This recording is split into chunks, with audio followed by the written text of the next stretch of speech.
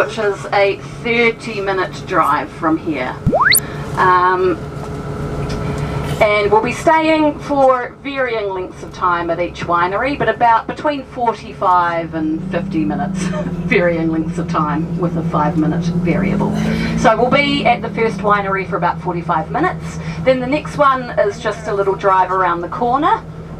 10 to 15 minute drive around the corner and then we drive back towards Napier and we go to Mission Estate which is out on the hills out the back of Napier and is New Zealand's oldest winery. Land rose up three metres or nine feet during this earthquake so it was it was very hearty so it really changed Napier forever.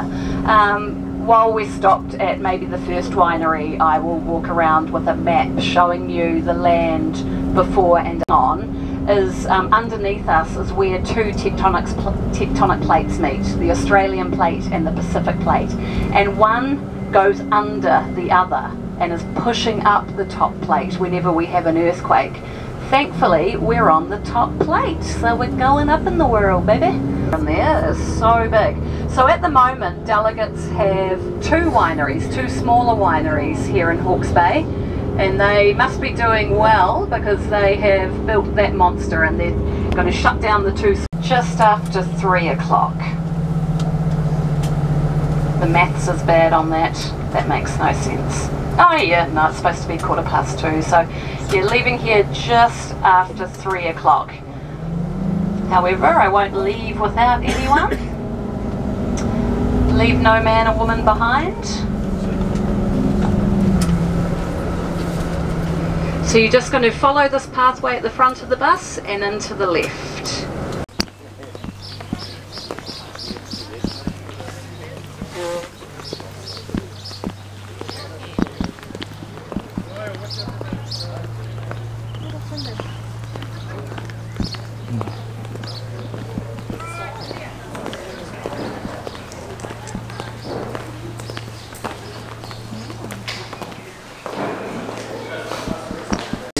The. Then we move on to Chardonnay, which is the main white wine of Hawke's Bay. So it's uh, more your nectarines and peaches, uh, a bit of malolactic, uh, butter and oak, for that one. And then we move on to Bishop, which is our Merlot. So it's the main red grape of the region. We have a bit of Cab Franc and Malbec by Bordeaux. So the only uh, winery in New Zealand with all six Bordeaux grapes. So we've got some, some of the rare ones like Carmenere and Petit Verdot. Uh, then we move on to Eden, which is Syrah, something people call Shiraz. Shiraz. Yeah, so it's picked about four months later than the Aussies. So it's very much cool climate, like French Rhône Syrah or Oregon American Syrah, some more cherries, black pepper, quite floral.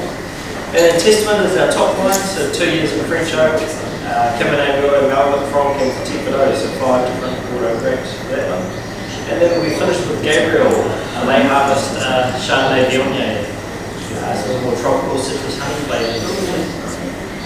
And uh, cheese will be served from uh, back shortly. Uh, feel free to sit outside. Really good. Ooh. Sounds nice. Yeah, it smells really strong. Which is that? Not sure. So we do have the Testament red wine. Um, and I'll give it a go. We do have some cheese here as well and uh, grapes in that. So see how it tastes. You can have mine. Really strong? Not too strong. Has that kind of sharp red wine. It, it tastes really nice though. Mmm.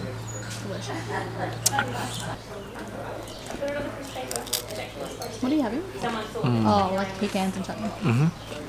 Yum. See you guys. Enjoy your trip. So that is our first wine tasting. At Abbey's Um, cellar, at- I think. Abbey's Stillery. No, cellar. Celery. Oh, celery. Cellars. That's Cellars. a vineyard there. Show them. And this is the vineyard that we have on the side here. Um, but it was really nice. We had to try like six, six wines. Really delicious. Um, combination of red, white, and then a dessert wine, which is the last one. And now we're going to the bus to go in the next um, next winery place.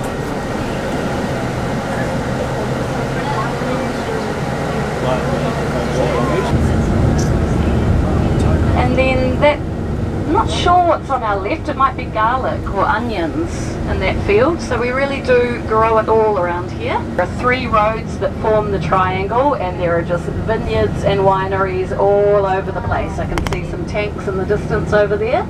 So we're going to turn right up here at this next road and head down the second road of the Golden Triangle and then turn right into Ngātarawa Road, the third road, where Ngātarawa Māori basically, in the Māori language. Near the start of it, it will sound like I'm swearing in English, and you've probably experienced this in New Zealand already. There's a lot of place names that start with W-H-A-K-A, fucker, but it means, but it's Māori, and it means it's a verb to make.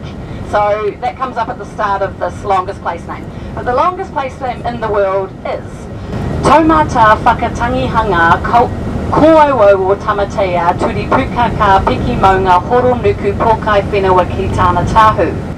I'll say it for you again. Oh, thank you, thank you. Okay, I'll say it for you again.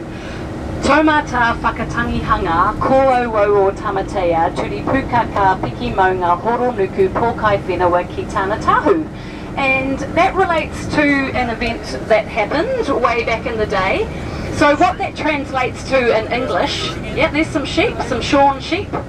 All sheep around here are going to end up on our dinner plates, I hate to tell you. We don't breed sheep on the North Island just for wool. So a lot of them are wool and meat, and some are just meat. Place name, what it means in English is Tamatea, who was a local Maori chief. Tamatea slid down the hill on his knees, crying and playing his flute. And it refers to um, an event where there was a war between two Maori tribes out around by that hill and Tamatea's brother was killed in the war. And so Tamatea climbed to the top of that hill and he sat up there for a week mourning his brother and playing his kōauau, which is a Maori flute, which is a really mournful, mournful instrument. And obviously at some point he fell down the hill as well because Tamatea slid down the hill on his knees crying and playing the flute, is what that place name means. That we've taken them off the main road. So now we're just coming down this third road of the Golden Triangle.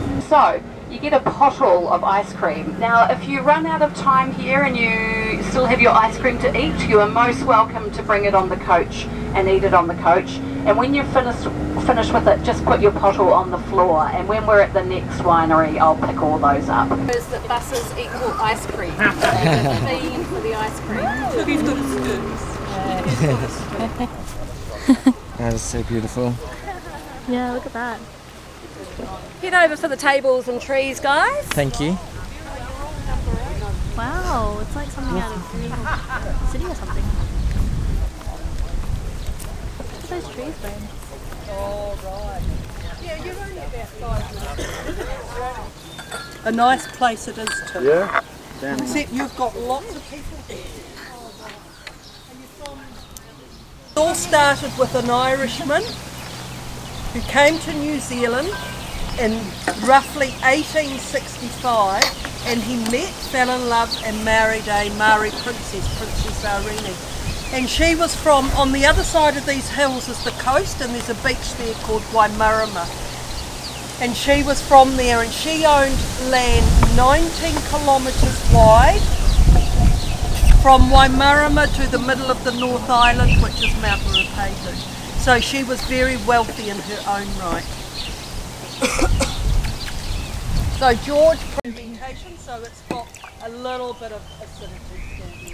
If it's total Thank you. it means it's very creamy. What do you think this tree is? All the ones from the UK should know. No. Oh, I've had a lot of Americans and all the Americans like salted caramel. So we've got, um, what have we got? We've got hokey pokey, which is um, like honeycomb chips and vanilla ice cream. We've got um, Feijoa, which is our fruit here in New Zealand, which is really nice. You must try that. Um, we've got Manuka honey, which is a new one, and a couple of others I can't remember.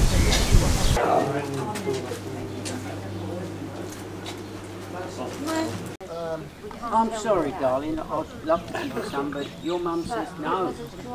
Yes, yeah. Come here. Ooh.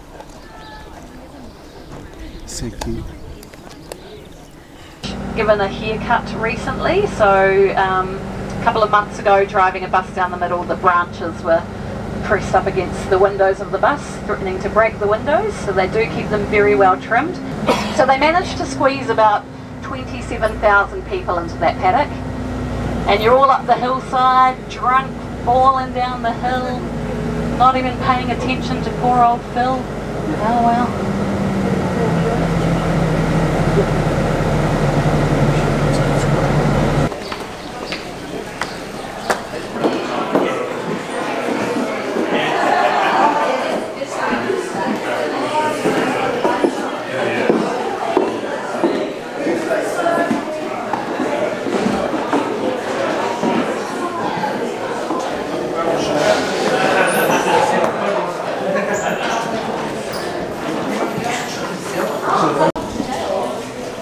Gel for the wine.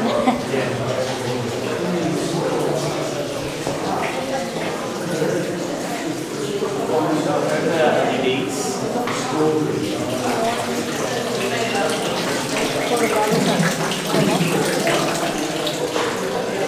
know like Assassin's Creed. I had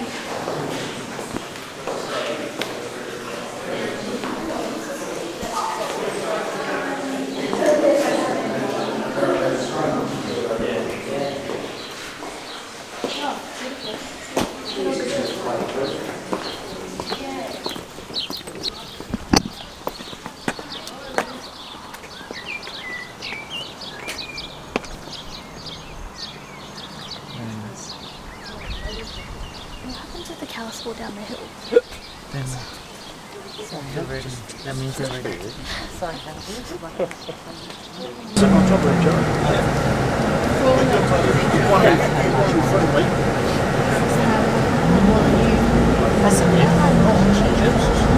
Yes.